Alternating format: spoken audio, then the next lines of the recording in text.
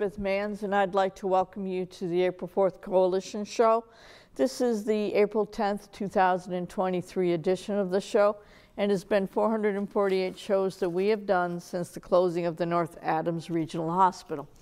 The April 4th Coalition's mission statement is We are for workers' rights and collective bargaining rights and are against tax breaks for the rich and corporations who ship our jobs overseas. We support all the articles of the Universal Declaration of Human Rights, but as is the custom, we put the emphasis on Article 23 at the start of the show. All right, we'll start with number one. Everyone has the right to work, to free choice of employment, to just and favorable conditions of work, and protection against unemployment. Number two, everyone, without any discrimination, has the right to equal pay for equal work. Number three, everyone who works has the right to just and favorable remuneration, ensuring for himself or herself and his or her family an existence worthy of human dignity, human dignity and supplemented, if necessary, by other means of social protection.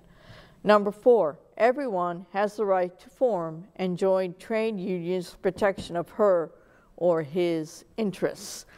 At this time, we also give a shout out to Michael Putnam, who is the Public Access Radio Program Director for airing our show on Fridays at 6 p.m., at least the audio portion.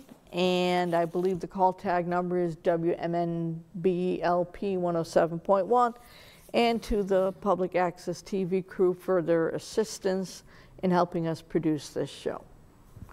Well, here we are, we're, We're one week past uh, April 4th, and you wanted, I want to backtrack Check a little little. because last week we were talking about the uh, anniversary of the April 4th Coalition. correct, And uh, we also talked about the anniversary of the closing of the hospital, but we But we- neglected one. no, We neglected to say why we have the name the April 4th Fourth Coalition. Coalition. And it's because uh, the April 4th was the anniversary of the assassination of Martin Luther King in Mm-hmm. 1968. So we thought in order to backtrack a little bit, we'd show a video of, of Martin Luther King, the speech, the, a very prophetic speech that he made the night before his assassination. He was shot with, Mm-hmm. Before he by was a shot. rifle uh, in, in Memphis, Tennessee. And so what, let's listen to this speech that he made on April 3rd. All we say to America is be true to what you said on paper.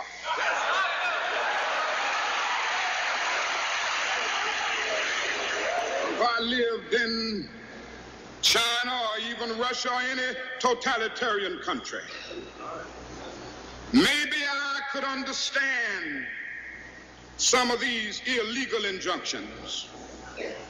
Maybe I could understand the denial of certain basic First Amendment privileges because they haven't committed themselves to that over there.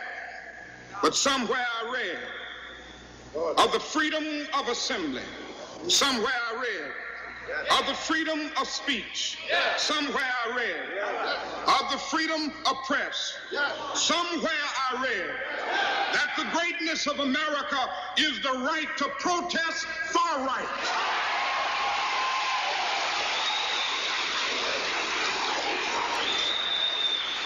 And so, just as I say, we aren't going to let any dogs or water hoses turn us around, we aren't going to let any injunction turn us around.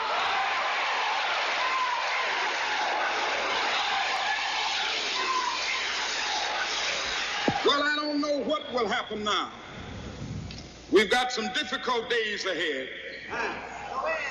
But it really doesn't matter with me now because I've been to the mountaintop. I don't mind.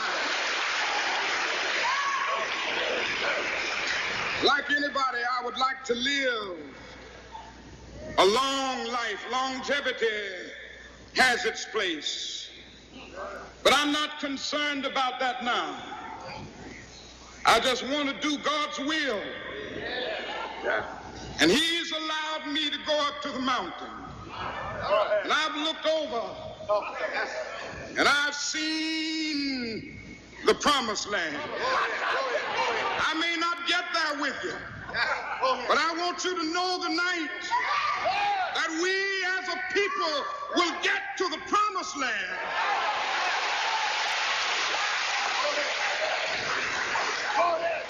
So I'm happy tonight. I'm not worried about anything. I'm not fearing any man. Mine eyes have seen the glory of the coming of the Lord. I don't think any of us can be satisfied in the United States until that war is brought to an honorable end and American soldiers are brought back here to the United States. One day, we will have to stand before the God of history. And we will talk in terms of things we've done. And it seems that I can hear the God of history saying, That was not enough. But I was hungry, and ye fed me not. Wow. Oh, yeah. It, it sends chills. you It know, does when you think about what's going on you now. know. It sends chills, just, just a prophetic speech, and also, you know, we're, And so cool. after the day after Easter, ce- a Christian celebration of Easter. Um, It's also, you know, part of Passover. Mhm. And the, the thought of the promised land, that was, uh, you know, a remembrance, Mm. you know, of, of, of what the Passover feast was about, was was remembering. The promised land, that Yeah, would get about- to the promised land. yeah, And then it's also where Ramadan is also taking place during this period too. Mm-hmm. Um, So, And remarkably, they all have the same goal, ultimately. yeah, ultimately.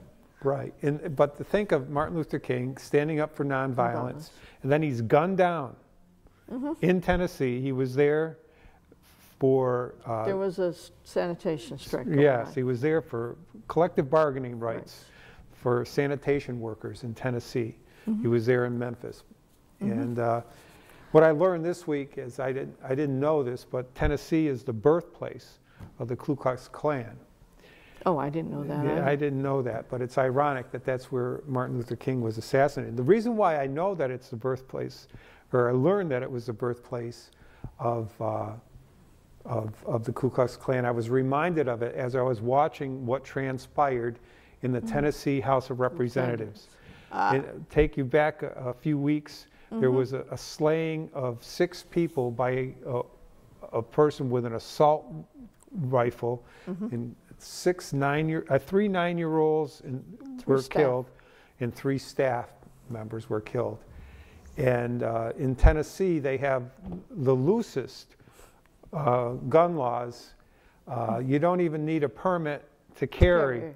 And you they don't were have to just, conceal they it were anymore. and they were, uh, the representatives were considering uh, a bill that would allow anyone over the age of 18 Mm-hmm. to, to be able to carry without a permit, you know. Oh, any- well, I thought it was younger. I thought it was 16. no, 18, 18. 18, yeah. It's 21 now, and they were reducing it to 18. And there were t- three representatives that stood with the students that were protesting Mm-hmm. uh, against that, and they want, they want to ban assault rifles. But anyways, uh, we're going to show a video, it's a BBC report of what's just transpired in Tennessee, the place where Martin Luther King, the state where Martin Luther King was assassinated by a, by a rifle. Mm-hmm. Uh, Let's hear what's happening in, in, in Tennessee now. Republican legislators in the U.S. state of Tennessee have voted to expel two Democrat members from the regional House of Representatives. It comes after they took part in a protest for stricter gun laws. Justin Jones and Justin Pearson were ousted, but a third Democrat, Gloria Johnson, narrowly survived the vote. Last week, hundreds of demonstrators marched to the state capitol after six people died in a school shooting in Nashville. One of the expelled politicians has been speaking to BBC News about what happened. I'm actually here in my office, um, you know, starting to pack up um, because the state legislature, the Republican majority, took the very unprecedented and uh, extreme move to expel the two youngest Black lawmakers in the state of Tennessee. Um, I represent a part of Nashville where just a week ago we had a mass shooting that that killed six people, including three nine-year-olds, and the first step my colleagues took was not to pass common sense gun laws, but to ban us for standing with those young people, thousands of young people who've been protesting for the past week, demanding um, a ban to these weapons of war um, on the streets of our community. Justin, I just want to make sure I understood that correctly. Expelled means you lose your seat. So you're packing your stuff up right now. You have to leave? I have to leave. They've shut off my ID badge already. Um, so they shut off my access to the building. I had to get another former colleague to let me in. Um, they shut off my email access, and so I'm no longer a legislator. That means that the 78,000 people from District 52 have no representation in the state of Tennessee. 78,000 voters. I represent the most diverse district in the state of Tennessee. I'm here in Nashville, uh, District 52, and now they are left without a voice because of the decision of an extreme Republican supermajority, which is almost completely a white, you know, caucus, expelling the two youngest black lawmakers because we stood demanding action on gun violence. Justin, you expected Republican lawmakers to take action. Are you surprised that they, they voted to expel you and your fellow lawmaker? I think the nation and the world are, are surprised and should be shocked because what they said is that democracy does not matter in Tennessee. Um, they took a very extreme step. There's only been three expulsions in the House in Tennessee history, um, all invi- involving crimes or unethical behavior. This is the first expulsion for First Amendment activity for a, a, a breach of decorum. They said violating decorum rules. Um, no, even members who've been here, former members I've talked to, no one has ever heard of a, a breach of decorum rule resulting in expulsion. It's the most extreme uh, measure because it doesn't only silence us, but it, it's really about silencing our district. And like I said, my district is 78,000 people who have no voice, no representation. Right. Um, that's what they did. So I want to ask you about what Republican lawmakers have said because they have said that you broke rules of decorum and staged a mutiny. And we actually have a clip from the House caucus chair uh, from the legislature. I want to, I want to play that for you right now. We've called them out. The chairman of committees, the Speaker of the House have been calling them out time and time again for grabbing the mic, sucking the air out of the room, making sure no other voice is heard. And finally, when they come and, and, and act so foolish on the House floor, this is a sacred place that belongs to everybody, and literally start looking up into the gallery with a bullhorn, getting the protesters worked up into a frenzy, that is incumbent on us to say, you've gone a step too far, and we're going to take steps to make sure that if you ever do come back, if you get reelected, that you know it's a serious thing to Tennesseans. Justin, did you and your fellow lawmaker take it a step too far, as we heard there? No, I mean, we have spent the whole session being silent, not able to speak. And so what led up to this point was that that whole week, again, I represent a part of Nashville, a community that is mourning, a community that is traumatized. We couldn't even talk about the issue of gun violence um, because this legislature was passing laws to arm teachers, to make it easier to get a gun than it is to vote or to get health care. This is a very uniquely American problem where we have these constant mass shootings at an elementary school in Nashville. And our colleagues wouldn't even let us talk about the issue of gun violence. All they let us do is offer moments of silence. But what we said is that we're tired of moments of silence. And so when we spoke on the House floor to try and speak about this, the speaker cut off our microphone. When I went out to stand with the protesters, with the, those protesting, he shut down my voting machine, so I couldn't even vote for a while. Um, this is a very extreme reaction from a body that has spent the whole session trying to silence any voice of dissent or opposition. And if I didn't know that this happened to me, I would not think that this was America. This sounds like, you know, this is this is not this is autocracy. And it's very scary that this Republican supermajority has silenced us, has silenced our voters for standing up, not trying to call for violence, but calling for the exact opposite, the end to gun violence. We were calling for action so that we can stop our young people and our children from being murdered and massacred. That's what we were okay. calling for from the House floor. So you and your fellow expelled lawmaker Justin Pearson, you are two young black representatives. Your fellow Democrat, Democrat rather, Gloria Johnson, she also uh, took part in this protest. She was not expelled. Republican legislators are saying this is not about race. What's your response to that?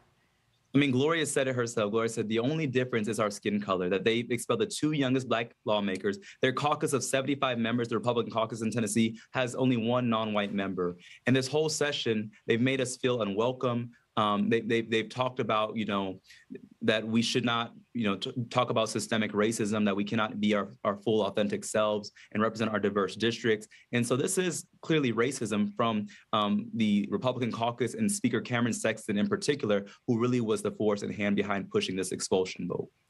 So you've now lost your seat, and your aim was to achieve some sort of progress on gun reform. What are your plans now for achieving that reform now that you're out of office? I mean, we had thousands of young people there who are going to return on Monday. And, and now, whether I'm inside the chamber or outside the chamber, I'm going to stand with them and demand that my colleagues act because what we were calling for was a ban on assault weapons, these weapons of war. And what they responded with was an assault on democracy. And that's shameful.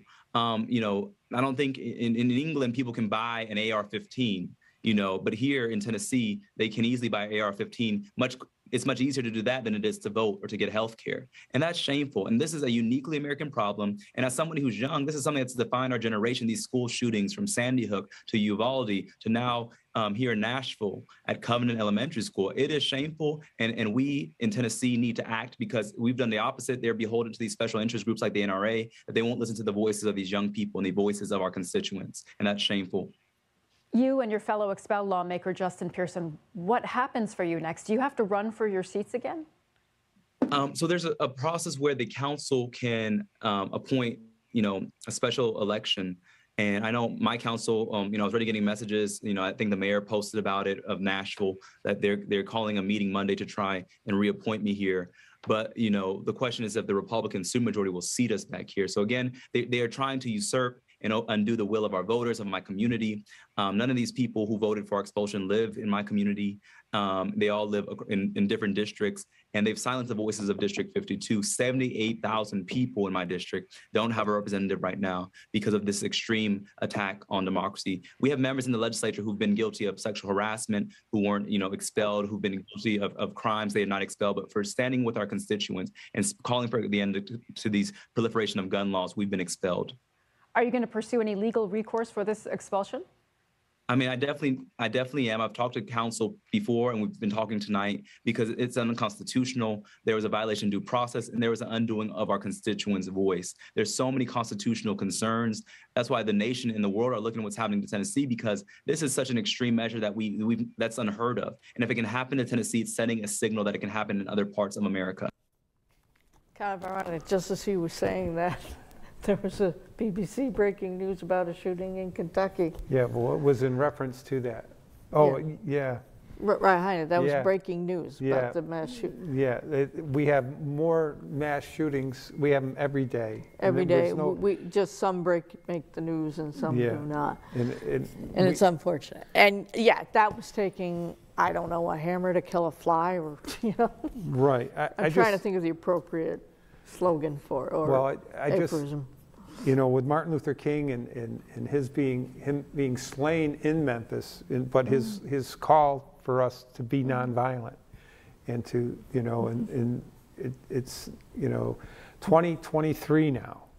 And still, And Mm-hmm. still, you we know, pe- people who were trying to, who were, change. who were demonstrating nonviolently, Mm-hmm. they were expelled, you know, so, but the, and these are two very articulate men, these two I mean, I mean, it's interesting that the, the, the leader of the, the Tennessee legislature said that they were using bullhorns in, in the, in the House seat, but they never showed a video of it. It's just, quote, his word that they were doing Well, they that. did do it. There are videos of them using a bullhorn. They What did, happened- but they- that was in response to their mics being cut off? Yeah, and they went to demonstrate with the people that were, the students that were in the building demonstrating.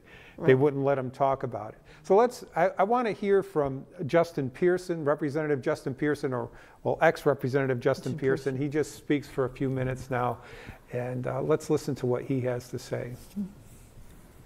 Representative Gloria Johnson and her attorneys, who they too are seeking to expel right before uh, I speak and before they work to expel me, uh, which I expect to happen too. We are losing our democracy. Uh, this is not normal. This is not okay. If you look at what it takes to expel a member, what it should take, most of the times that a member in the Tennessee State Legislature have gotten expelled, in the last two times in particular, one, the guy committed sexual assault against 22 people. The other committed bribery. We broke a House rule because we're fighting for kids who are dying from gun violence and people in our communities who want to see an end to the proliferation of weaponry in our communities, and that leads to our expulsion. This is not democracy. This is not what it is supposed to look like, and everybody needs to be very afraid and very worried that there are people in positions of power who are using and wielding that power to expel people who are duly elected to their seats. We came here to fight for our constituents. We came here to lift up the issues of people who are suffering. Six people died in Nashville at the Covenant School. Three were nine years old. But instead of focusing on that, Representative Jones, Representative Johnson, and myself are being expelled from the State House because we said we cannot do business as usual. No one should be wanting to operate as though this is not happening, as though we are not living in a gun violence epidemic in the state of Tennessee. And the solutions that are being offered is actually to reduce the First Amendment rights of people who speak up on behalf of their constituencies, who speak up on behalf of people who are tired of the guns, who are tired of seeing legislation being passed that lowers the age for you to carry, tired of seeing legislation being passed that says you don't need a permit, tired of legislation being passed that says if we give teachers guns, that's somehow going to fix the problem. People are tired of these non-real solutions to a real problem that we are suffering from.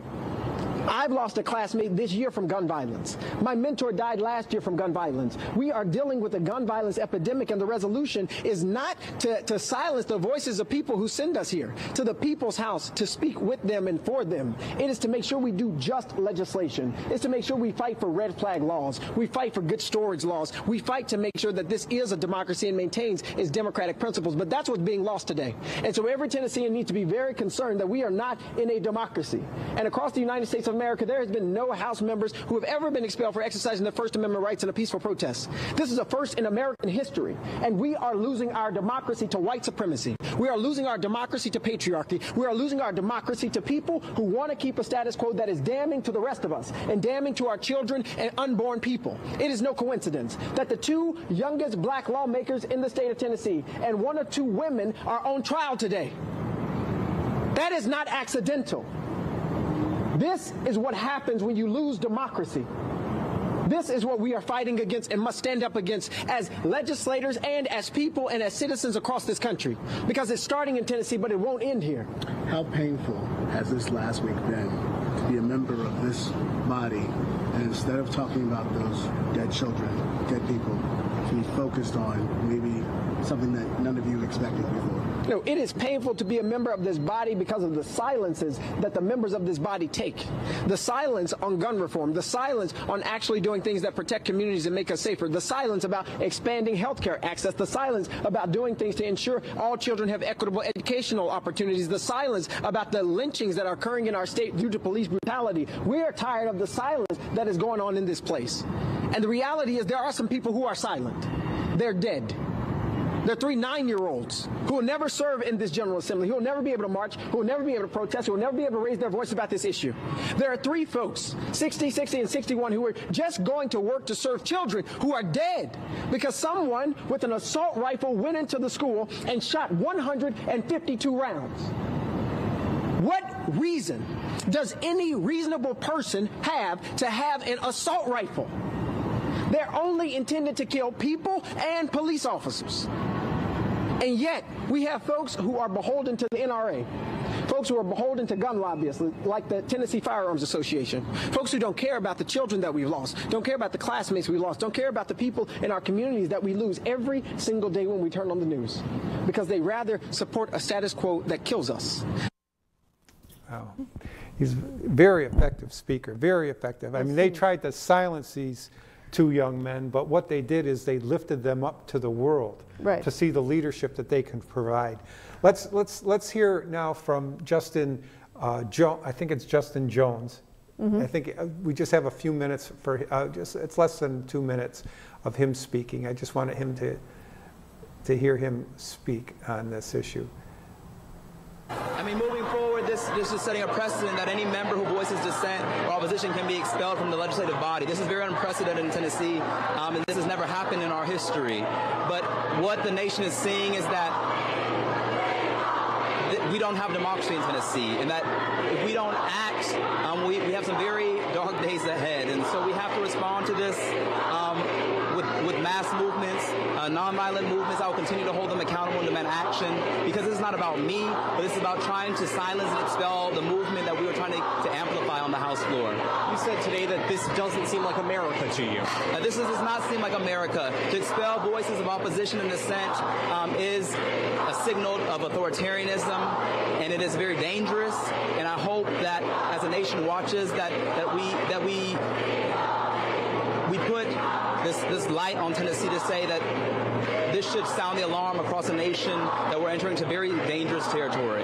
You have two of your colleagues in there who are still going to face questions today. What would you say to them, your other two members of the Tennessee Three? I mean, we're in this together. That we, the three of us, the Tennessee Three, we stand together. So I'm going to the balcony to go support them. Um, you know, I can't be on the House floor right now, so I'm going to go to the gallery and, and, and stay for the um, hearing because we, we are in this together. And it's, it's so important that we represent, you know, we're multiracial, intergenerational. We represent Memphis, Nashville, Knoxville. We stand united, and the people across the nation are paying attention to what's happening because this is not the end. But what they did was signal that that if we don't act, we, we, will, we will lose our democracy. Today was a signal that we have lost democracy in Tennessee and that we are on the path toward authoritarianism.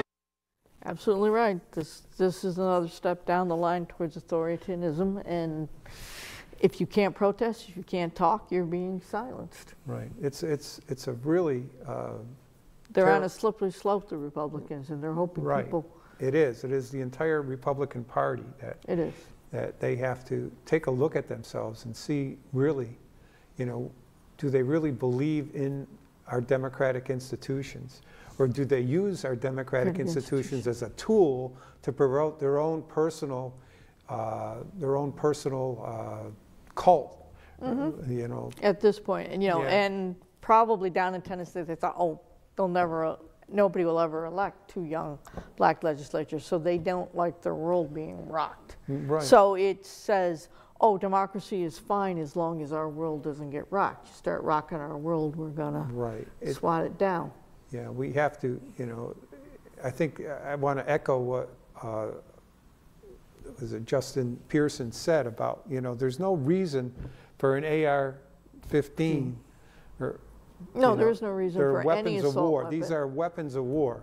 I don't think people need howitzers either, No, but they can have them. Yeah, it's it's just it's it's it's one of those things that uh, I'm very grateful that I live in the Commonwealth of Massachusetts, where we have It's very strict gun law. you yes. know, we have, you know, uh, not that there's not violence in our communities, but at least, you know, we, we are trying to restrict the use of Of assault the weapons. Yeah, and uh, I think we need to do that nationwide.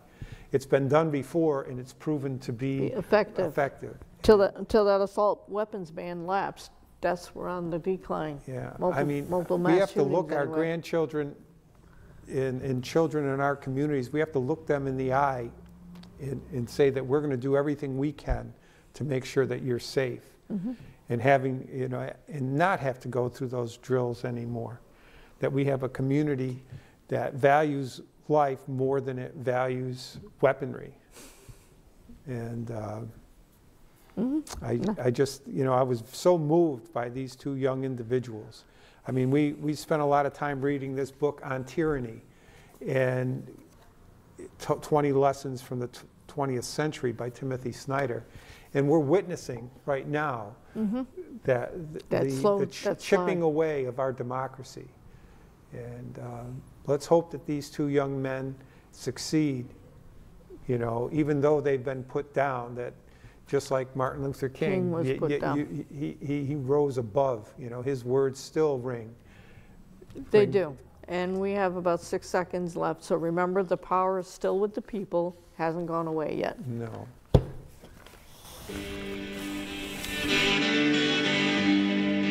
There's power in a.